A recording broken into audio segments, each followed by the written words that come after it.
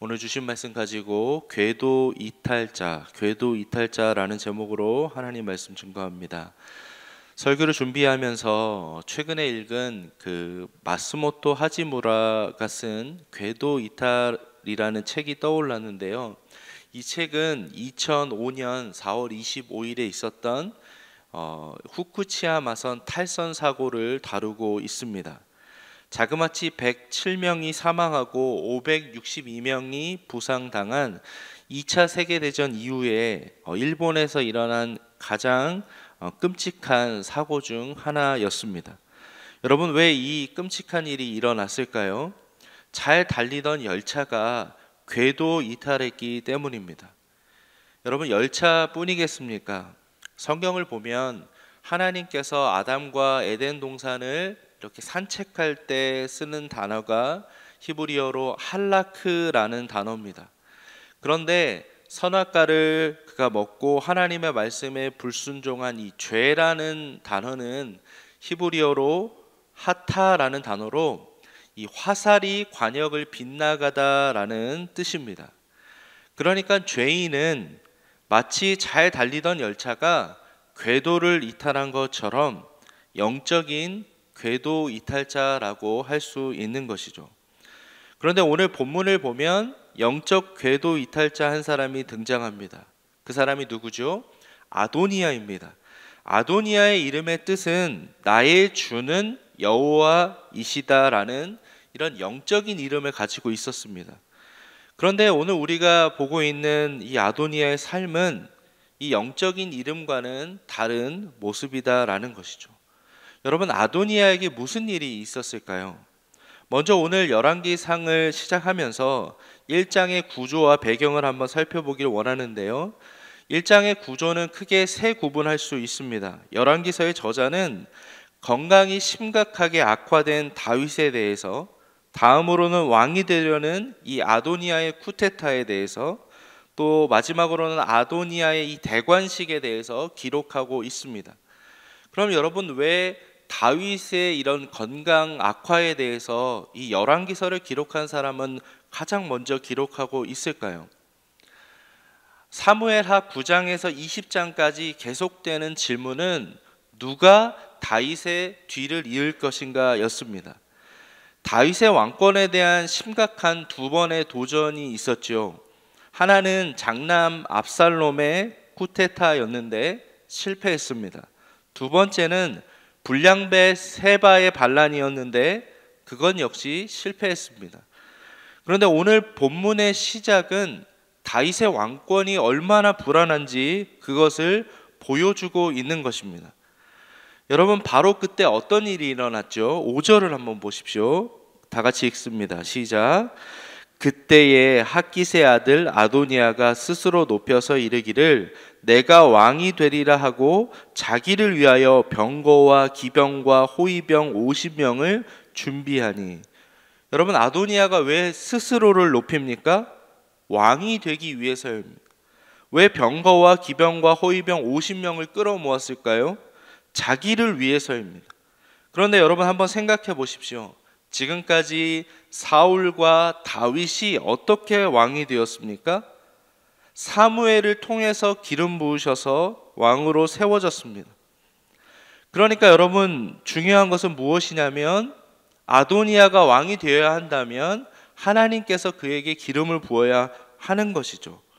그런데 아도니아는 자기 스스로 자신을 높였고 건강이 악화된 다윈 모르게 쿠테타를 치밀하게 준비했던 것이죠. 그러면 저와 여러분 가운데 오늘 본문을 묵상하면서 아도니아가 왜 이렇게 됐을까라는 질문을 하게 됩니다. 6절을 한번 보십시오. 다 같이 읽겠습니다. 시작.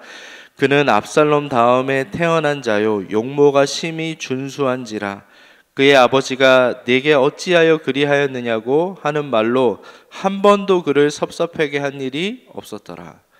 여러분 아도니아의 프로필을 한번 보십시오. 다윗과 아내 학깃을 통해서 낳은 넷째 아들이었습니다. 그런데 압살롬만큼 임팩트가 있었습니다. 용모도 압살롬과 비견될 만한 얼굴 천재였던 것이죠. 그런데 문제는 무엇입니까? 그의 아버지가 내가 어찌하여 그리하였느냐는 말로 한 번도 그를 섭섭하게 한 일이 없었더라. 여러분 이게 무슨 의미일까요?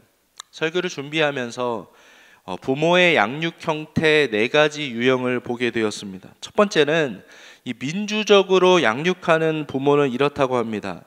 우리 같이 한번 이야기를 해볼까라고 말하는데 두 번째 이 허용적 부모는 그래 네가 하자는 대로 할게 이런 것이죠. 세 번째는 독재적인 유형입니다. 내가 말했지 이렇게 하고요.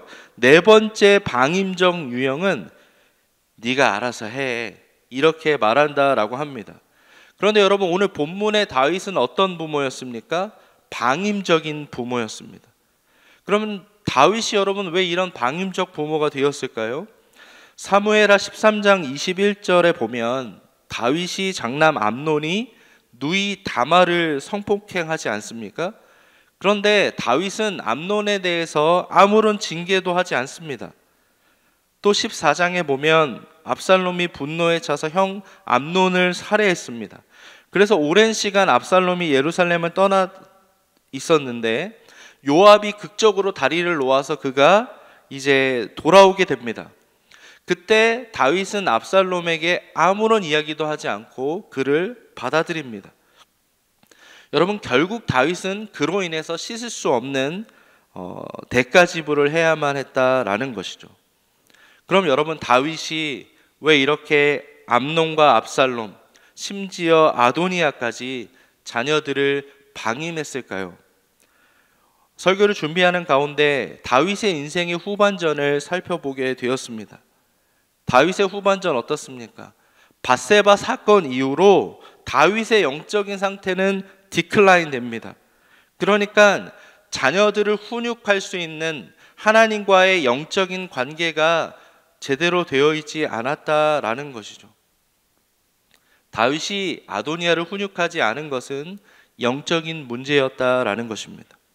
다윗이 영적이지 않으니 영적 이탈자, 궤도 이탈자가 나왔다라는 것이죠.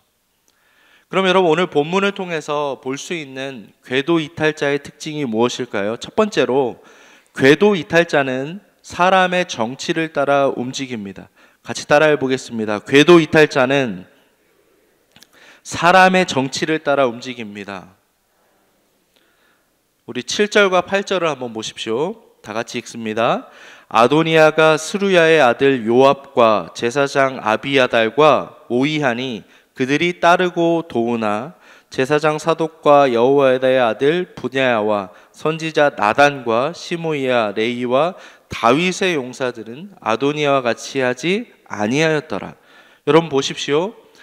궤도 이탈자 아도니아는 어떡합니까? 이 사람의 그 정치적 논리를 따라서 요압과 제사장 아비아달과 모의합니다. 그런데 여기 본문에 보면 다윗의 용사들은 아도니아를 따르지 않았다라고 기록하고 있습니다. 이것이 무엇을 의미할까요? 궤도 이탈자는 사람의 정치를 따라 움직이는데 하나님의 사람들 다윗의 용사들은 하나님의 통치 원리에 따라 움직였다라는 것이죠. 여러분, 저와 여러분 어떻습니까? 궤도 이탈자이십니까? 아니면 하나님의 궤도 아래서 하나님과 동행하고 있습니까?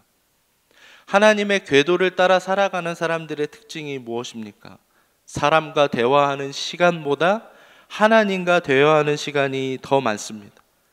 정치적으로 모의하지 않습니다. 사람의 정치 논리에 따라 살아가지 않습니다.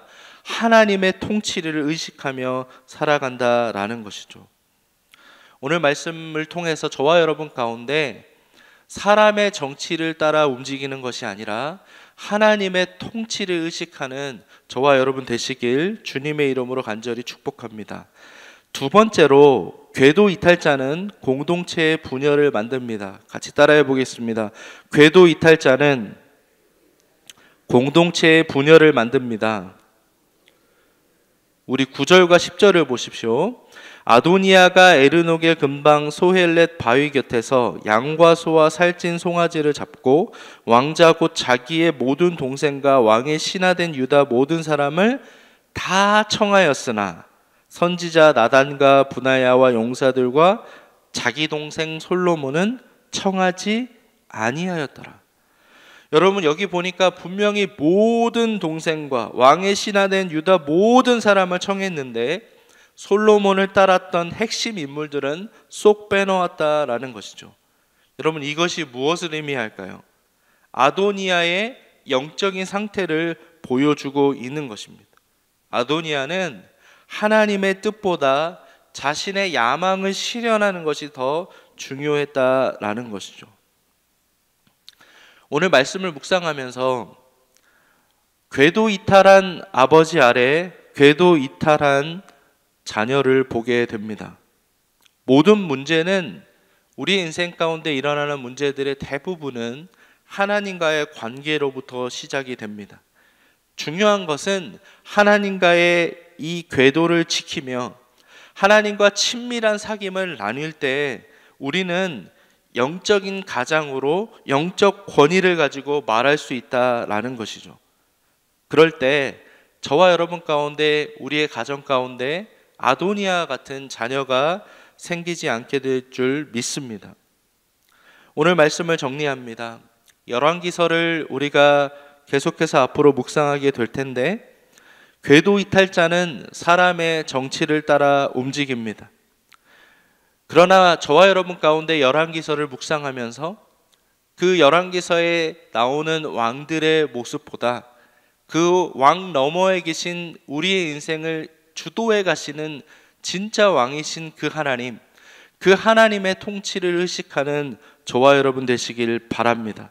뿐만 아니라 궤도 이탈자가 되어서 공동체를 분열시키는 것이 아니라 언제나 어디서나 한 마음으로 비전의 공동체를 이루어 가시는 우리 KCPC 성도님들 되시길 주님의 이름으로 간절히 축복합니다.